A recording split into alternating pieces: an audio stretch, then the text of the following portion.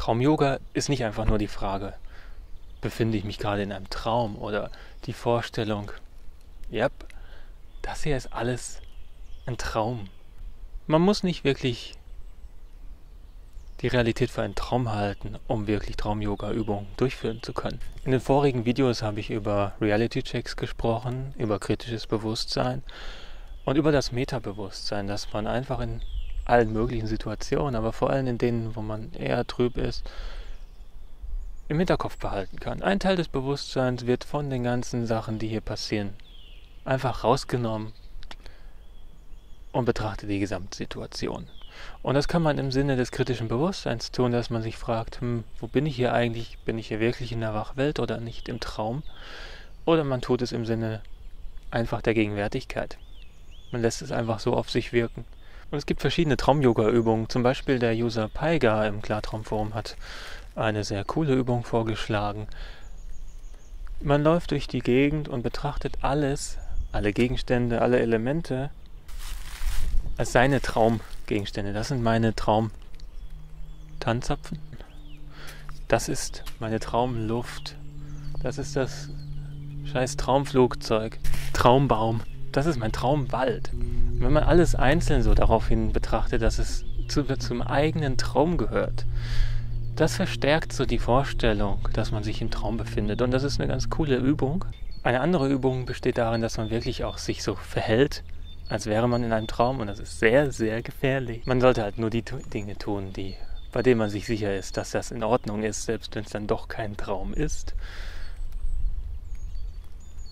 Aber man kann dann zum Beispiel durch die Gegend laufen und so denken, hm, ein Baum, okay.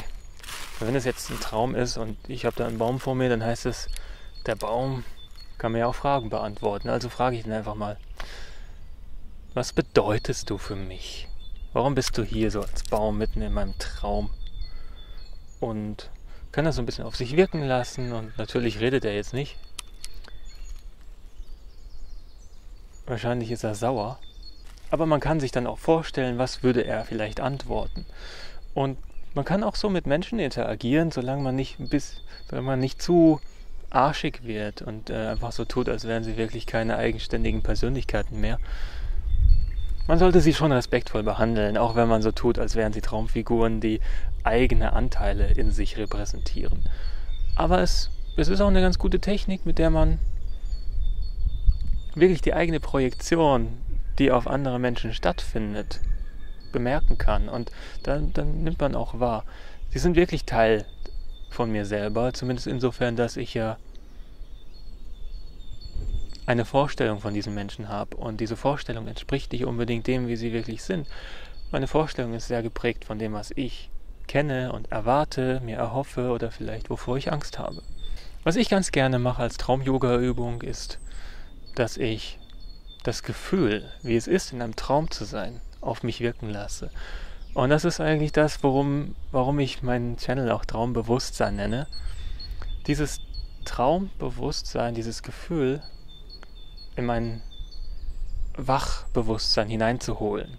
Das heißt, jetzt, wo ich, denke ich mal, wach bin,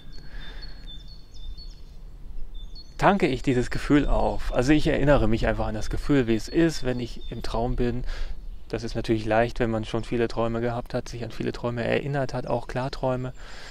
Da kann man sich leicht an dieses Gefühl erinnern, sich wieder hineinversetzen und einfach die Umgebung mit diesem Blick betrachten. Aber vor allem geht es wirklich ums Fühlen, nicht so sehr ums Sehen oder Hören und so. Und wenn man will, kann man natürlich auch einfach sich vorstellen, wenn man jetzt nicht so stark dieses, diese Erinnerung daran hat, wie fühlt es sich eigentlich im Traum so an dann kann man sich zumindest vorstellen, wie es wäre, wie es sich anfühlen könnte. Und für mich führt das, führt das hauptsächlich dazu, dass ich mich mit meiner Umgebung viel mehr verbunden fühle. Natürlich ist es bei der Natur besonders einfach, weil, die, weil ich mich der Natur sowieso sehr verbunden fühle und die Natur ist halt auch einfach natürlich. Das heißt, sie ist einfach nicht so von sich selbst getrennt. Da ist sowieso alles miteinander verbunden. Das sieht man hier in dem Ökosystem Wald. Aber es klappt tatsächlich auch bei Menschen. Also wenn ich mir so vorstelle, dieses Gefühl einfach, es ist jetzt ein Traum, dann fühle ich mich auch den Menschen verbundener. Und insofern ist diese Übung nicht unbedingt Realitätsverlust, sondern sie hilft einem wirklich auch in der Realität ein bisschen mehr Connection zu finden. Das heißt, überhaupt mehr die Realität überhaupt wahrzunehmen als das, was sie ist, nämlich als ein Wunder und ja, auch die Verbundenheit mit der Welt, in der man sich befindet. Die Welt ist meine Welt, zumindest auch. Und die Verbundenheit mit dieser Welt wahrzunehmen. Das bedeutet eigentlich, dass man noch mehr zur Realität hinfindet. Hier interviewen wir mal eine Biene. Weg ist sie wieder. Und das äh, letzte Traum-Yoga-Element, von dem ich euch erzählen will, ist das Verlangsamen der Zeit. So kann man es nennen.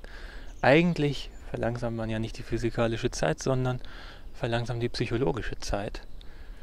In dem Moment, in dem man innehält und nichts mehr tut. Oder wenig tut. Sich rumschaut, alles auf sich wirken lässt und einfach aus dem Alltag raussteigt, wo man die ganze Zeit Handlung hinter Handlung setzt und immer wieder eine Sache nach der anderen tut. Ja, und wenn man alles so einfach auf sich wirken lässt, wie zum Beispiel diese Schnecke auf einem Baum oder die Ameisen, die da so hochkabeln, einfach alles betrachten, dann hat man das Gefühl, man verlangsamt die Zeit. Was da wirklich für mich noch dahinter steckt, hinter diesem Gefühl, die Zeit zu verlangsamen, ist auch dieses Gefühl, dass alles so realistisch ist. Jetzt betrachte ich erstmal die Wirklichkeit wieder so, wie sie ist, weil so häufig sieht, nimmt man sie gar nicht wahr.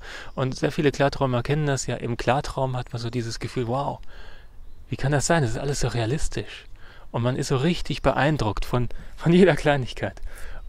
Und das Gleiche kann man auch im Wachleben machen. Also lernen, wieder wie ein Kind die Welt wahrzunehmen und zu bestaunen, und das macht einfach Spaß, das ist einfach super geil. Da, da braucht man noch nicht mal dann einen Klartraumerfolg, weil das einfach das Erlebnis so richtig schön ist. Und als Bonus kommt dann noch ein Klartraum dazu vielleicht. Und das sind so die Techniken, von denen ich rede, die Übungen, die halt Spaß machen sollen, weil dann ist man motiviert, das auch dauerhaft in sein Leben einzubauen. Und dann braucht man nicht ständig Klartraumerfolge, damit die Übungen ihre Rechtfertigung haben, sondern dann dann hat man einfach ein bereichertes Leben.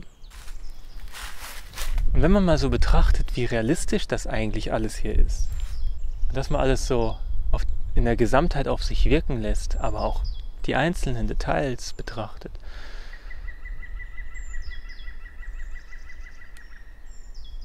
dann merkt man auch, wie stabil alles ist. Oder man kann auf diese Stabilität achten. Und das finde ich auch besonders cool als Traum-Yoga-Übung, dass man den Traum, den man sich als die Wachwelt vorstellt, so betrachtet. Wow, wie stabil das ist. Ich muss überhaupt nichts tun. Die ganze Physik funktioniert von selber. Ich kann mich schnell umdrehen und die Szenerie, die muss ich nicht erst langsam aufbauen oder so. Das ist einfach alles schon da. Und es ist einfach alles so, so perfekt und so detailliert. Ich meine, man kennt Klarträume, wo das nicht ist, wo man so durch die Klarwerdung fast schon aufwacht, weil irgendwie alles wegbricht und man sieht nicht richtig und so. Aber es gibt ja auch die Klarträume, wo alles so ultra realistisch ist. Und je mehr ich darauf achte, wie stabil diese Wirklichkeit hier ist, umso mehr inkubiert das auch äh, das Gefühl für meine Träume, weil ich will ja, dass meine Klarträume genau so sind, wie ich das hier wahrnehme. Mit Zusatz von Superfähigkeiten natürlich. Und ich muss noch nicht mal glauben, dass das jetzt wirklich ein Traum ist. Es reicht wirklich völlig, wenn ich mir vorstelle und mir sage, wow, so kann ein Traum sein, so stabil und so realistisch kann ein Traum sein.